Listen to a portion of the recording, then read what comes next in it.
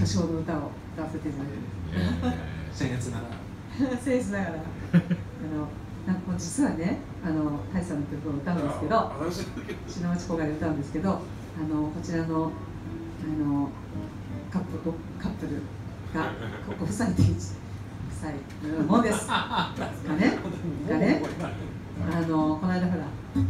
れたじゃないですか。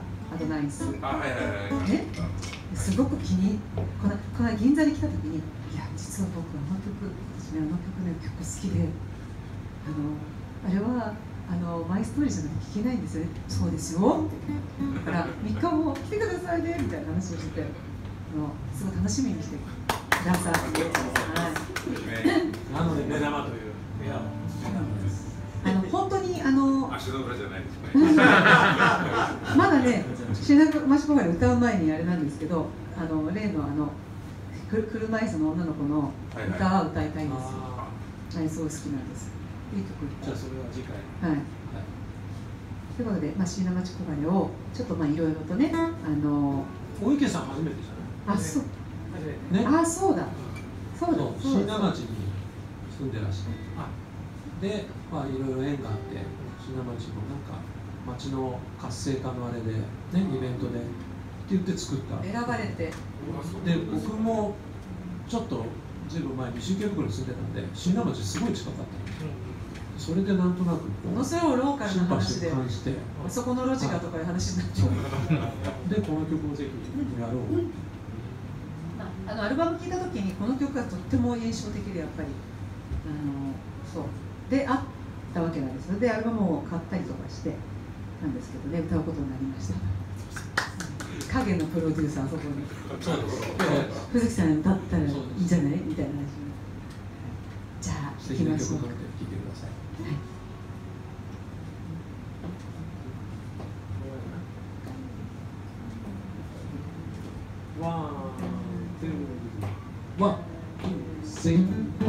う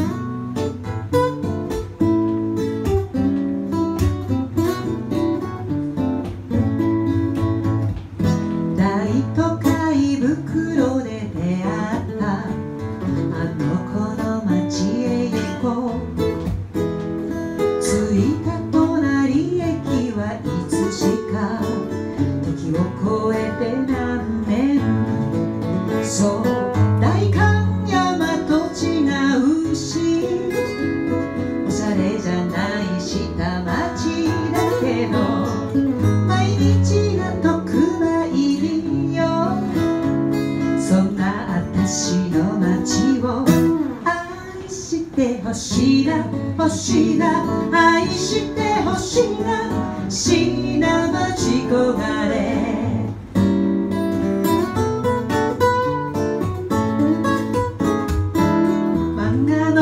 歴史がそこにある。もう一回いきます。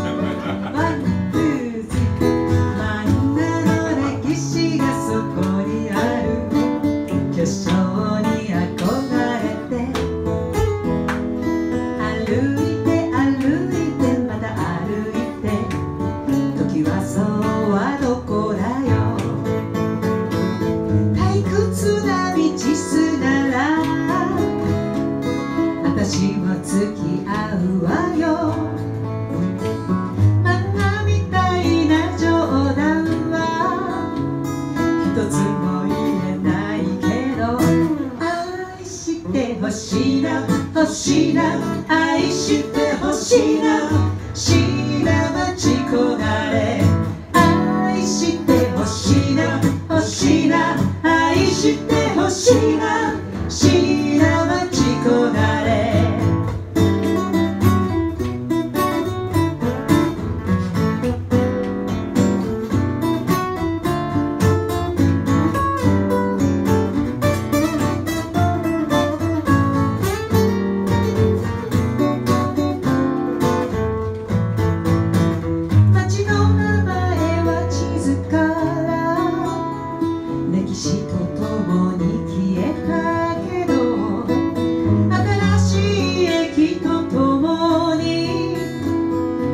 私は